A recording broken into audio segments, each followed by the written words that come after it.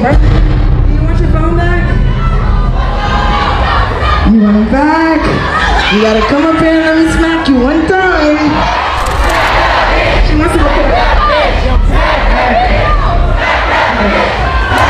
wants to go